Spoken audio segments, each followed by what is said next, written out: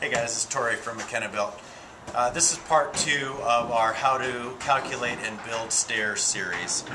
From our last series, if you remember, we, we figured out what we needed for our rise and run to get up to our landing. That was a rise of 7 inches. We're using a standard 10 inch run, which is a standard for residential.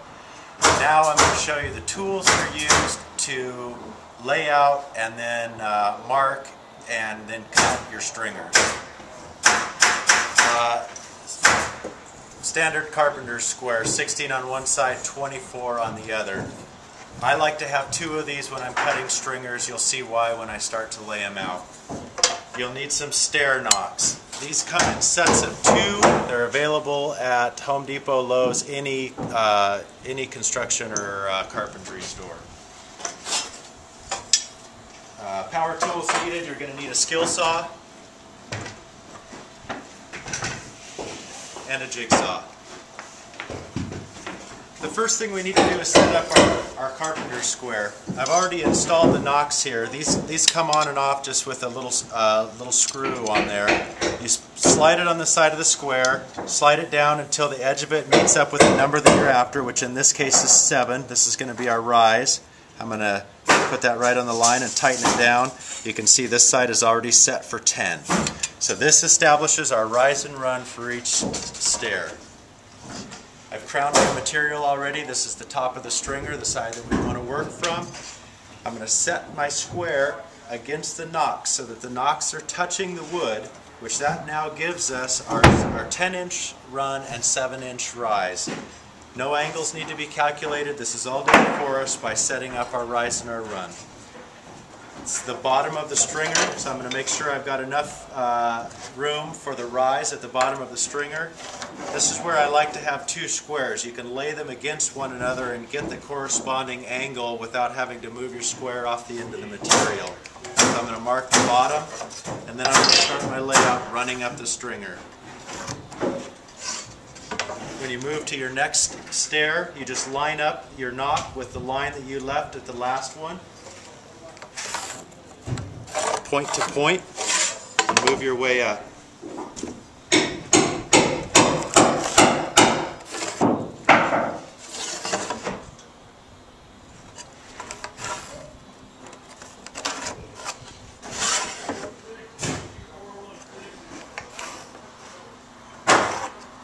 We needed six rises to get up to our landing. The sixth rise is when we step onto the landing. Our stringer will have five rises. One, two, three, four, five. This is the top of our stringer here. So I'm going to square this off. This will be the part of the stringer that sits against the landing.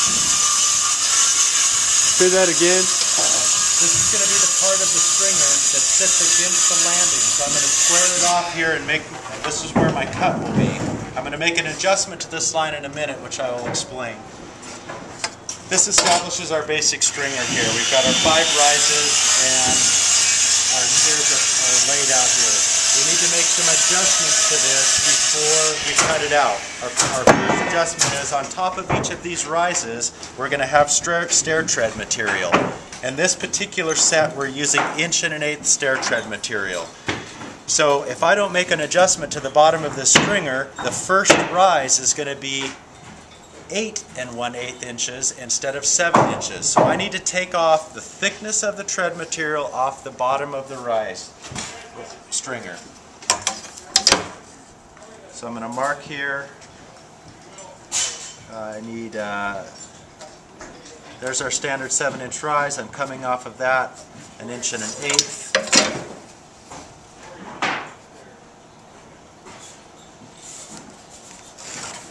That's the bottom of our uh, stringer. Now I need to cut a notch out of here for a 2x4 uh, ledger that's going to be on the bottom of the riser that's going to lock this thing into the floor. So I'm going to measure over 3.5, up 1.5,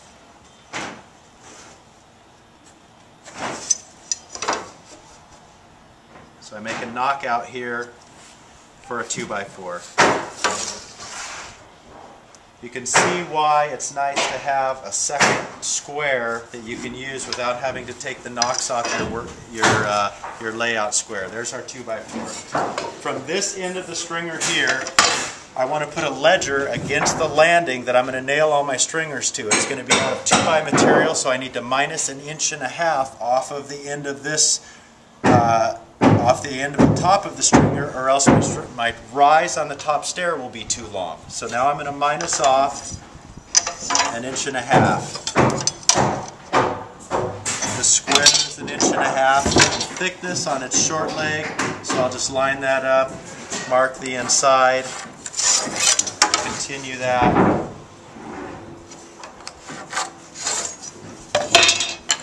Now we have our fully laid out stringer. Now it's time to go ahead and start cutting out the stringer.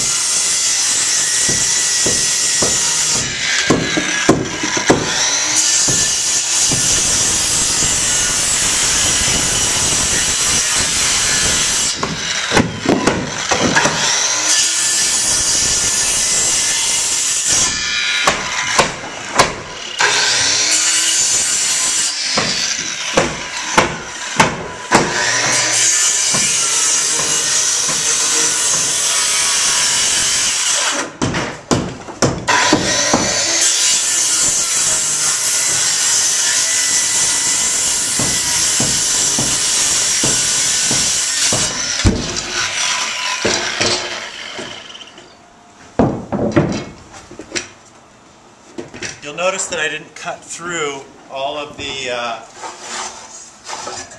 cut through and remove all of the, the cutout pieces. Some carpenters will overcut these until the point where they fall out. Don't do that. That's sloppy and it wears, it, uh, it weakens the stringer.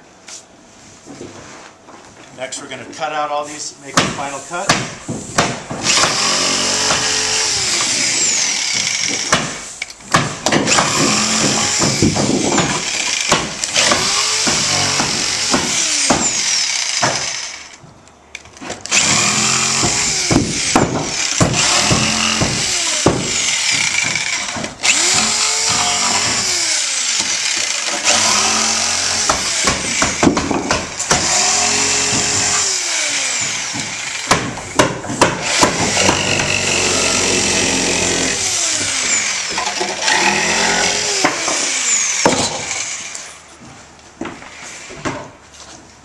And there's our completed stringer. On our next series, I'm going to show, I will have already cut out the rest of the stringers and the other parts necessary, like this 2x and the 2x that goes here. I'll show you how to assemble this unit and then install it in place in the house. Thanks for watching. I'll see you on uh, part 3.